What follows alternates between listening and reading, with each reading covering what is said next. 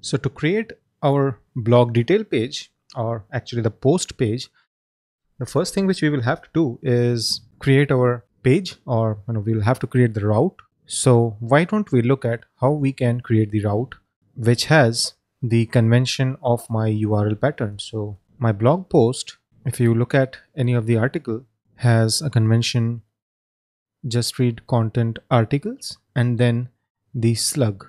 This piece of you know URL pattern I will want to retain because otherwise I will lose out on SEO and I will have a lot of 404s. So let's see how we can do that. I'll go into my editor and inside pages we'll have just read content articles and then we can name the parameter as slug and then .js that's the file name okay so once this is done we need to check whether we are able to get anything out of it or not. So let's create the component.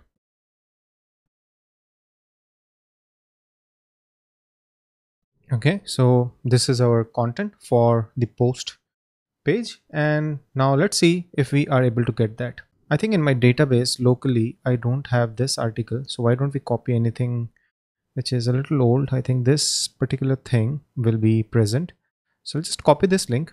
And if I go to that URL I see hello post. I think this is working right? Now how do we get the data? Or you know we can say that how do we generate all those post URLs which is there in my database? So I'll just show you again. So I have these um, a little more than 75 I think my local database has only 75 articles. So how do I uh, let Next.js know that these are the 75 valid articles and other URLs are not valid. So I have a slug. So what we would like to do is if we go to our category page, okay, we used the get static paths, which described that, you know, there are only two path available for this, which is slash web and slash travel. So similarly, I would want that somehow these 75 paths are uh, given to me while the pages are being generated so that the server knows that these are the valid URLs and anything else will be treated as a 404. And then the get static props, this is where I will take the parameter, the slug part of it, the dynamic piece of the URL, which is this, and I will query my database so like the last one is Turtuk, the last village of India and its amazing history. So I think this is the slug which I will use to query the post instead of the ID because, you know, I could have done 75, but this is not going to help. So the slug will be used. So let's get started. We will obviously need to use the get static paths and get static props. So let's first create our get static paths why don't we copy this first? Get static paths and get static content. Sorry props. Copy this here. Okay. And we need paths. Okay. And let's just assume that we will make an ajax call. I need to import axios. Let me do that first. Okay. So await axios get http let me see. I don't think we have created the post yet. Um, so this is my server which is running. Why don't i open up the code base? Uh, api so we have a category slash tag. So we have a url from where we can get the um, posts for a particular tag right? Now we will need two urls one is where I get all the posts with their slug and the second URL will be where I pass the slug and give it gives me back the post. Okay, so it's almost like get all posts and one is get all uh, get post by ID. So let's just do that first. Again, I think you know one thing which you need to understand is because I will be generating all the pages locally and then deploying it. So you know this really doesn't matter how I write my APIs and what are the URLs because everything is localhost 8000, right? It really doesn't matter because what goes on production will be the HTML files, you know, the uh, static files. So yeah, really no security issue. I can you I think you can easily do you know uh, this piece, and so our URL will be posts.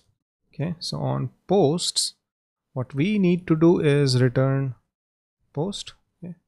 we have already imported the class. So post query. We don't need to select the entire thing so we can just take the slug and the id sorry. Okay so this is my url for the post. Let's quickly check. 74 so this is correct. And i'm getting the id and the slug which is correct. And so in here, we will get the slug as query parameter. So post query. I could have done a route model binding, but for now, let's just use this and get the data somehow. Uh, so post slash, right? And this means if I do post slash this, the T is missing. It will give me the entire data, right?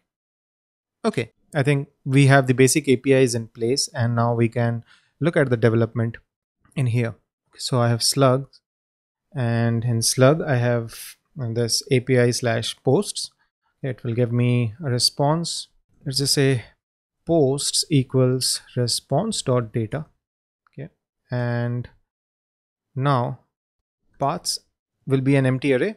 Okay, not like this and then posts dot for each what I can do is paths dot push params slug post dot slug. Okay so you need to understand that the syntax is we need to push a params property and then whatever is the name of the you know, dynamic variable. In our case it's slug right? So you need to pass that as well. Otherwise it will fail. Like if i if i do this as category right it will fail. Okay so next um, i think this doesn't change because we are still passing the paths. However the get static props right? This is where a little bit of code change will happen. Um, we need to return an object. So obviously the first thing which we will do is constant slug if you remember in here we did params dot params dot category but in here we will get params dot params dot slug. We have this slug and then we make another api call. Response equals await axios dot get. Now i'll use template strings because i need to form a dynamic url okay so we have this API call and if things are correct we'll get a post from response.data and we will return two things. We will return the slug. So props should have slug. And although I don't need the slug I think but still let's just keep that and we will confirm that we are getting those two properties. So we have the slug and we have post as post or maybe no let's let's keep it like this. And then if we come over here i will open up the development toolbar and refresh loads properly. All right and we have the slug and the post object as well which means you know like what I can do here is post comma slug. Okay I can destructure the those two things. And instead of the h1 being a hard-coded thing I can use post dot title and it should work. Let's see any other URL um, travel let's pick this up. I know this is there in my database so I'll come over here and yep I think this is working.